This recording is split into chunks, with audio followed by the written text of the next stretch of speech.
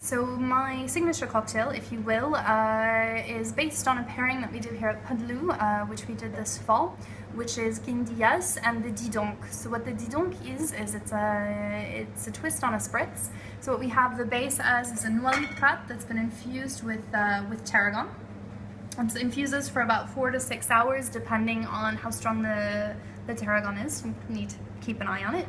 Then what we do is we add a little tiny spray of Strega to sweeten it up and add a little bit of absinthe to kind of link all of the ingredients together. It is then topped with a uh, natural sparkling white wine. So let's get going with the Dis donc. So the glass, kind of chill with cubes, throw them out, and then we put in our spray.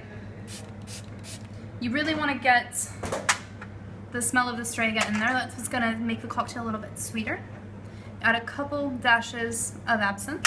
Vieux Pontarlier, which is a natural absinthe, really lovely, quite uh, almost little bits of fennel in it, which is really going to kind of bring that, that idea of eating. You know, you're having this experience between a little plate of guindillas and your cocktail. Then we're going to add the Noilly Prats.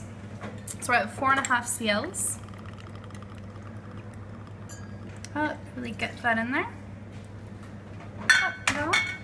And then we're gonna add our ice. Just to kind of cool, chill the Prat at a little bit of dilution.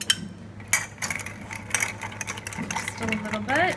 We want to do this before we add the sparkling wine because the the bubbles in this wine are very, very delicate. We don't want to we don't want to lose them straight away.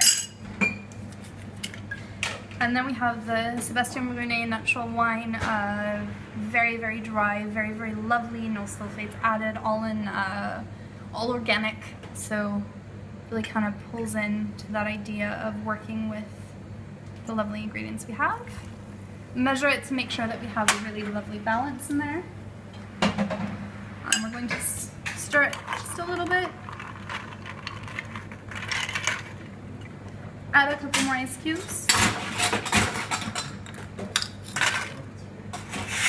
And then we're gonna serve it with the plate of guindillas, which is gonna add a touch of spice as well as sweetness to it. So that is the Dis donc with uh, fresh guindillas. Cheers. Or roasted guindillas, sorry. Cheers.